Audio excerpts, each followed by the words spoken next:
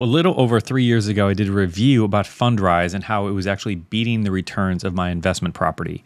And ultimately, ended up selling that investment property and then putting more money into Fundrise. Now we're four years into that investment, and I want to share exactly what my earnings have been, how it's been progressing, and what I'm doing from here. Now, if you aren't familiar with Fundrise, basically it's a crowd funded real estate investing platform. So rather than needing to come up with a whole bunch of money to be able to buy your first investment property, you can take a smaller amount of money or a whole bunch, whatever you want to do, and join other investors and Fundrise will take that money and they will put it in specific investments and then use their investment managers to make the investments for you. Now, what I love about it personally is just how simple the whole thing is. It's very intuitive, very easy to use. There's not a lot of knobs to turn. It's like they're doing all the work for you on the back end. It's like you're just putting some money in and letting them go to work for you. So now let me hop into my account. I'm going to show you my account so you can take a peek, see what's going on. If we come over here, you can kind of see the breakdown of everything. So I started with Fundrise with, I think it was like 18,500, I believe is what I started with. And so they have the breakdown. So this is 2022, the year to date, what's happened here. So the dividends we've earned so far in this year, $369. The appreciation has been about $984. Some of that, I don't know that all of that is realized. And by realized, I mean once you sell the property, then you realize that appreciation. And so total kind of gains for 2022 has been $1,300 or so, which is great. And what was really fun is last year, I remember getting an email from them showing that the re- uh, average returns, I think were like 22% last year or something, which is just fantastic. But we all know the real estate market's just been insane. And so it makes sense that they've been really, really good. So I created a spreadsheet just kind of breaking down um, kind of what my earnings have looked like. And so I started kind of first measuring them in 2020.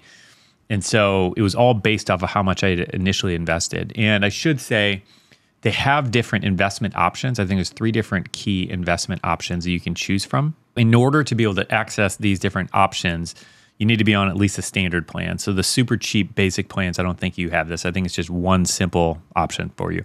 But if you're on one of the standard plans or above, you have different options of how to invest. So this one, supplemental income, is focused on income, creating a passive stream of income through dividends.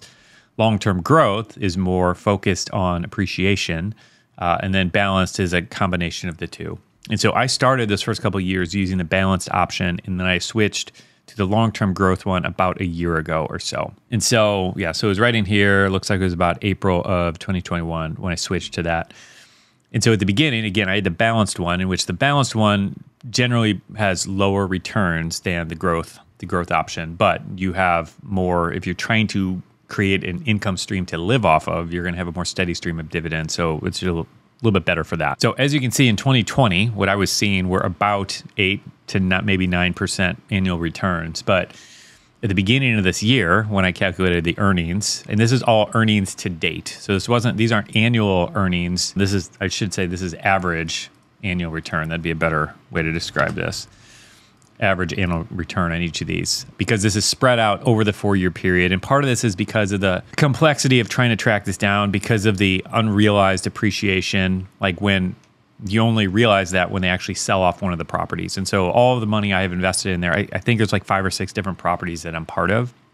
But when one of them sells, then that will add a higher amount to my actual realized appreciation. So if they don't sell anything for a particular year, my my earnings will be lower that year.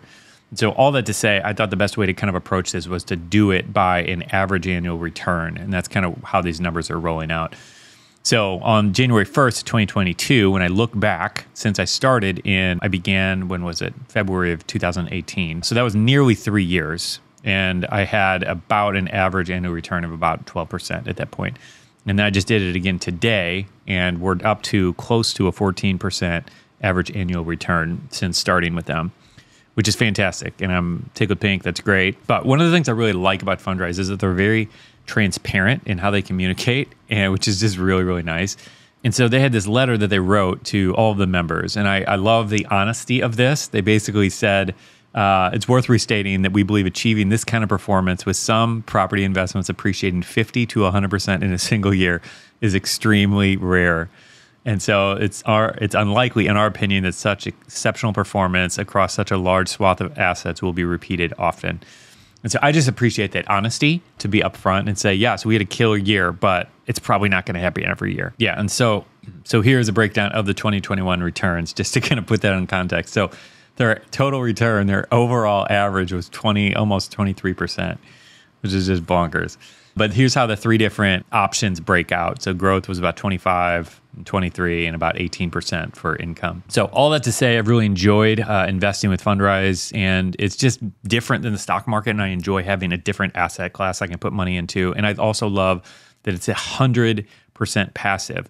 And so while I did like my investment property and I will be in purchasing investment properties in the future, so I'm not saying don't do that. I'm not saying I'm against that, but even when I had a property manager, it was not 100% passive. Like there were just more things that I had to do for whatever reason with it. And this is 100% passive.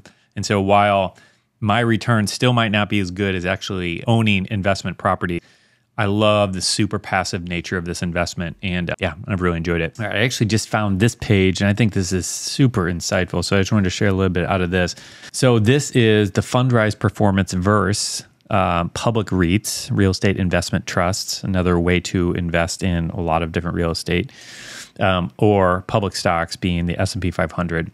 And this is super fascinating uh, for me because we can see like public REITs just seem to be the big winner in terms of performance last year, earned about 40%, like which is fantastic. Stock market did 28%, Fundrise did about 23%.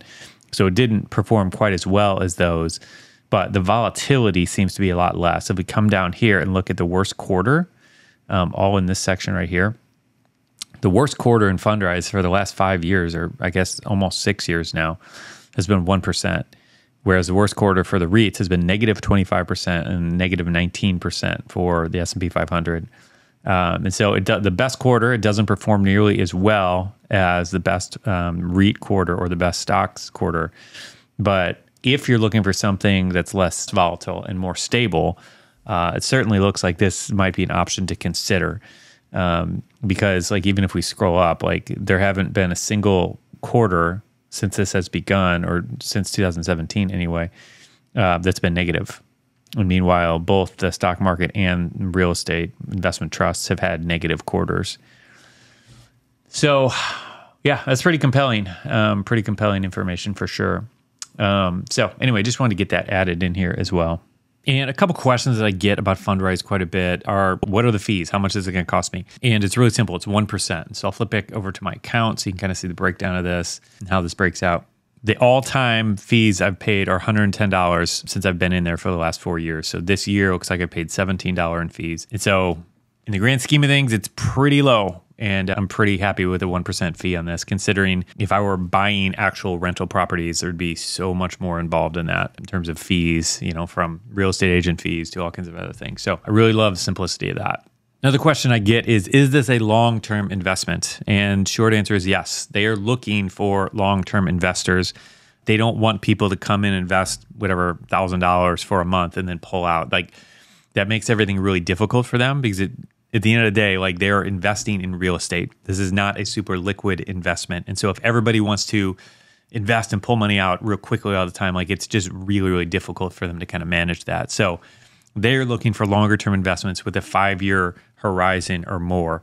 Now, that said, I would, from what I understand, that doesn't mean your money is locked up and that you can, because I haven't withdrawn anything, but from what I understand, that doesn't mean you can't withdraw. It just means that they are making it clear what they want out of investors, and they don't want a whole bunch of investors who are just going to be in and out, in and out all the time.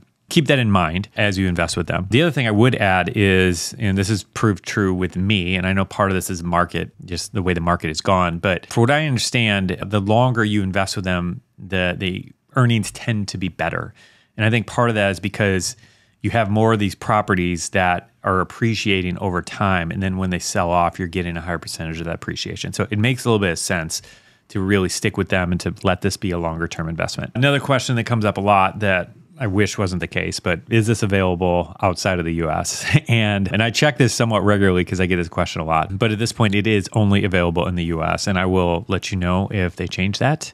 But at this point, that's what's going on with it. And so, if you are considering using Fundrise, one cool thing that just rolled out recently is this $50 sign up bonus. So, if you're interested, I'll have a link down below this video that you can get that will get you that $50 bonus. And from what I've seen, you do actually need to use the link of a particular member in order to get the $50 sign up bonus.